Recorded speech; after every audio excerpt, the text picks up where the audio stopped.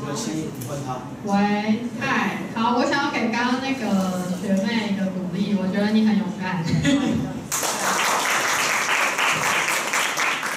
在我大学二年级，其实是大几岁的时候，我就开始做这份创业，然后我觉得我有点看到之前我比较，就是可能你没有多想什么，可是你就想开始做了，然后你站在台上，你不知道讲什么，但是你就讲了你说你想讲的话，然后我觉得你很勇敢，然后让我想起一些事情。好，反正我我现在就是我今我今天的主题是 Let's make things happen。大家不知道大家有没有听过 maker 这个词？有吗？就是最近蛮红的。那其实虽然就是 maker，其实大部分还蛮多都是讲，就是你会联想到三 D printer 或者什么之类的，就比较偏工业革命或什么。但是对我们来说，就对我来说，其实我觉得我在做的事情也是一个 maker。那为什么呢？我们是会让希望可以让实现这世界更多可能性。所以我会以这个主题为，就是我今天分享的。好，那不知道大家有没有想象过，就是你在看《哈利波特》的时候，你真的能够身在这个世界里面去变出一些魔法，或是身为这个主角去像哈利波特一样去挑战，就是伏地魔，然后就是完成很多的任务。像这个，它是一个商店，它就是在就是让小朋友描绘一个小朋友，或是任何的家庭都可以在一个像哈利波特一样的餐厅，或是它可以贩卖一些哈利波特商品在里面互动。那其实我们就是做这样的事情。我们在做什么呢？我们在做实境游戏。然后大家大概会听过就是密室逃类型的。但其实实境游戏它的概念就是，我们不只是要做密室逃，而是要让任何就是虚拟你想象中任何的东西都可以真重新真实的呈现在生活中，也就是 games in reality，也就是你在现实生活中都可以体验各式各样玩乐的生活。那我们的工作室叫做 RMT Studio，就是 RMT 实境游戏。我们是从二零一二年就创立，然后大部分人都是蛮新的团队。然后我们大概在两年内已经就是有九款作品，然后也有十分多的媒体露出。然后在这九款作品中，我们等我等下会稍微介绍一下比较就是特别的，让大家了解实境游戏的概念有哪些。那我们致力于发展哪些的东西？好，在这个就是实境游戏，我们的主要客群是二十岁到三十五岁的年轻族群，所以大部分都是因为就可能就是有新形态娱乐活动想来体验的人，我们是会收收门票的，所以它跟就是你去看一场电影是一样的，你会在线上先购票，然后再来体验我们的游戏。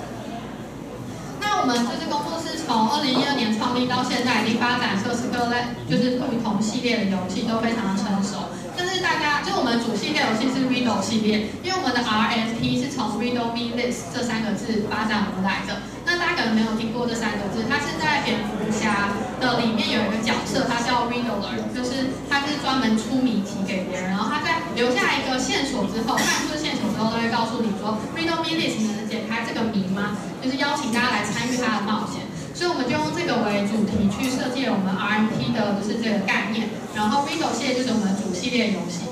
那我们还有惊悚系列、英雄系列跟诈欺系列，就希望可以就是带给大家各式各样不同可能。呃惊悚系列它就是鬼屋啦，就是鬼屋就是密室逃脱，还有一些解谜跟故事的元素。然后英雄系列的话，它是比较主打会有体力，你就要去挑战新时代英雄，会爬上爬下那种。然后诈欺的话，大家在座有看过日剧诈欺游戏的，可以举个手吗？对，我们之前就是真的有把就是诈欺游戏的元素去设计一套交易规则，让每个人都是一个时空的交易家，然后你会有很多筹码，你可以在交易室里面去交易。我们的诈欺游戏就是就是实现这样的想象在现实生活中。那接下来跟大家介绍几款比较特别的作品，因为我没有什么多就是特多特别多的时间。我们第一款作品是我在大二升大三的那一年，我们一群就是热血的，就是大学生去做的这款作品。我们只用了两个月的时间呢，就从就是在八月底的时候做了每一场是有一百人，这一款就大概触及了一千五百人的游戏。它是在华山，然后华山我们就在华山建筑了一个童话村，里面有二十个童话角色，你就看到路上会有小木偶在卖菜，然后你要去跟他买真实的菜。因为我们就希望可以 present 真的真实的东西，所以我们就会去买那种道具菜，就不会是那种真实的，可是他可以拿到食品。然后他可能也会去跟就是坏皇后互动，他可能是坐坐在树荫下就是乘凉，然后呢就会很小朋友去跟他互动，说哎坏皇后你为什么在这在这边啊什么的。然后我们一场次就是那么多人，然后大家去想办法解救童话村里的角色，看看他们到底发生了什么事，可以去帮助他们成为这个解救童话村的勇者。那这是这一款游戏，我们主打的就是就上一款是就是 RPG 系列，那这一款呢，我们也是 RPG，它是我们的第一第三款作品。比较特别的是，它就结合密室脱逃，也就是你被邀请到了一个宴会，这个宴会有十个关键角色，他们是一家公司的员工。你被邀请到的这个宴会是为了解决董事长所发出的就是求救邀请函，但是你在进入这个宴会后呢，却在就是十秒内就被关住了。也就是这宴会大门被伸锁，然后你就会逃不出去。然后有一个就是收到一个神秘的信件，告诉你说你必须要在就是一百分钟逃出去，不然这个宴会里面的所有人就会被就是可能就是追就是追杀或什么之类的。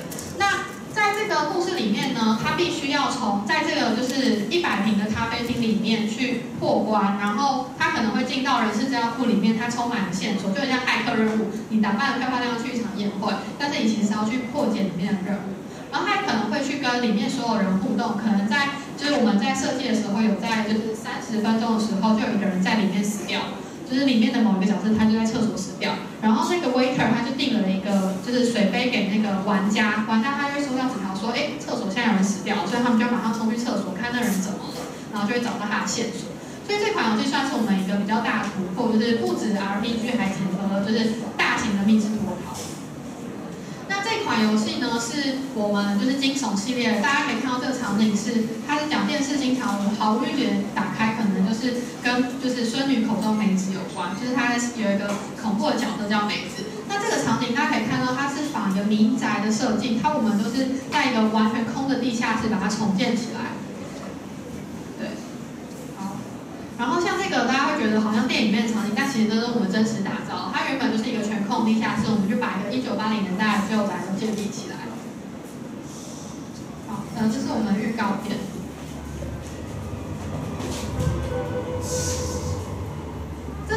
场景都全部都是真实打造出来的。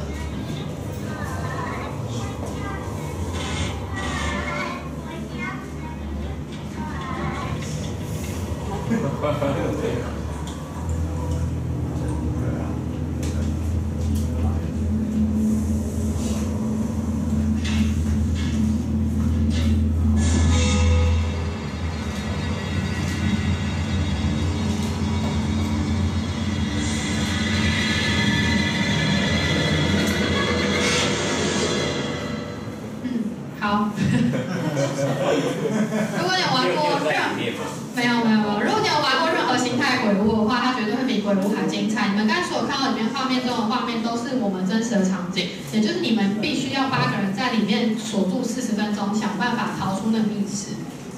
那里面不会有真人，如果真的有人的话，可能就是你不想遇到我们的好伙伴。那子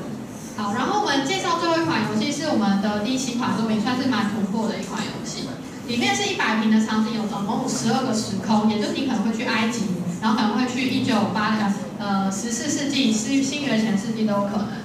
然后里面有不同场景，包括了我们重建了一个竹竹林，然后这是一个马戏团，诶，然后这是一个实验室，就是其中一个，然后里面有的是一个人造人这样，然后这是一个魔法书房，是十四世纪的，然后我们主打的就是真实的场景。那主要就其实我们不只是 B to C 有售票游戏，其实我们在企业有科技化游戏，有去跟不同的主题，就是呃妖怪村啊，然后一些观光景点合作。主要就是我们团队有六位，然后有不同职掌。那今天主要是想要来跟大家分享的是，我们其实最近在招人，就我们在招就是店长跟行销计划人员，还有财务会计。如果大家对这产有兴趣的话，等下可以跟我聊聊，或者是介绍你可能有兴趣的朋友来我们这边加入，成为我们的伙伴，一起让更多的事情可以实现在这个世界上。好，那这就是我的报告，就是 We Make Things Happen，然后希望大家可以多推荐一些伙伴来加入，谢谢大家。